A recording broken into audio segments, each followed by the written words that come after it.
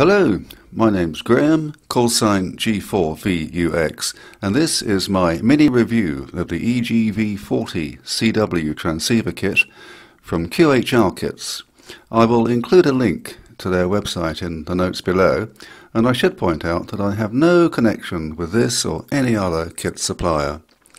The EGV40 tunes over a 40 kHz section of the 40 meter amateur band the output power is adjustable to a maximum of 3.5 watts and the receiver is sensitive with good selectivity and low noise. The full specification is detailed in the assembly manual which is available online in PDF format. I chose the basic kit which comprises the PCB and all board mounted components. A case is also available but I decided to make my own from aluminium sheet.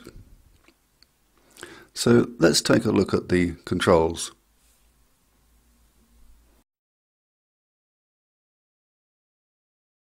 The front panel controls comprise main tuning, audio gain and fine tuning. On the back I've got RF gain, headphone jack, key jack, DC socket and the antenna socket. This red push button switch activates a crystal oscillator which I use to spot the transceiver onto the QRP center of activity frequency 7030 kHz. This is one of two modifications that I've incorporated into my version of this, um, this kit.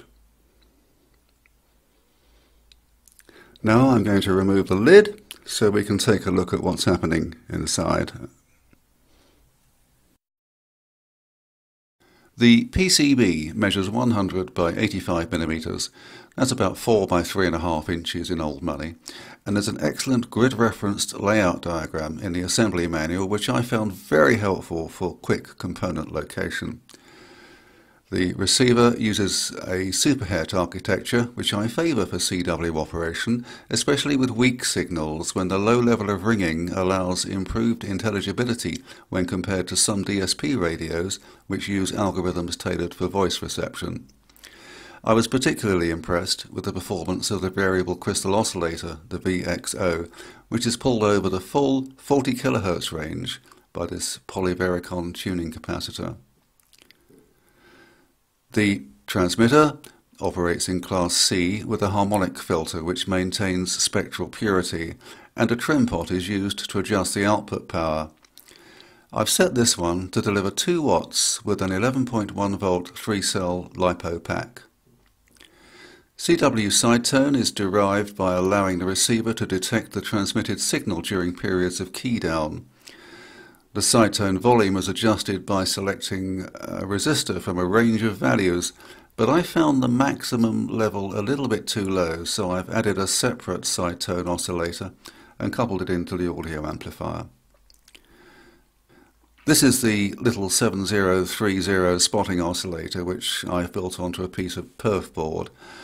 Uh, the length of wire here acts as an antenna which radiates a couple of milliwatts inside the housing when the button is pressed.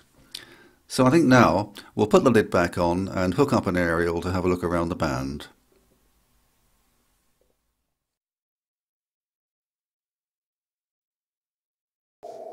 It's um, Sunday afternoon, bank holiday weekend, and there's a contest on. So most operators are up on 20 metres because it's far better for contesting than, um, than 40.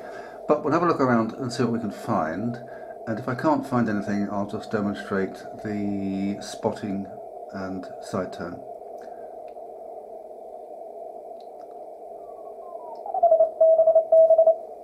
There's someone there contesting I think, going quite fast. DM5BB. I think he's just calling for a contact. Oh, he's got one. There you go. So that's a very good uh, example of the quality, the audio quality of this lovely little radio. Now I'm just going to show you the, the um, spotting facility.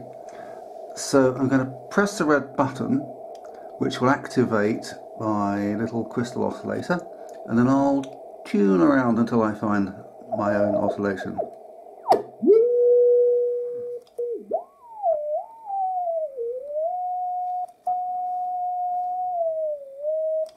There we go. So I'm now tuned to 7030.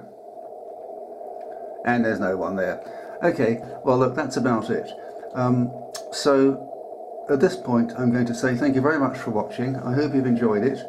Um, please leave any comments. I'm always happy to receive them, good or bad. I'm quite uh, flexible.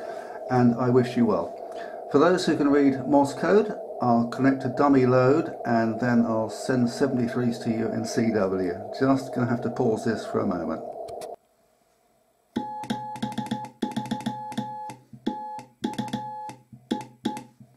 Cheerio.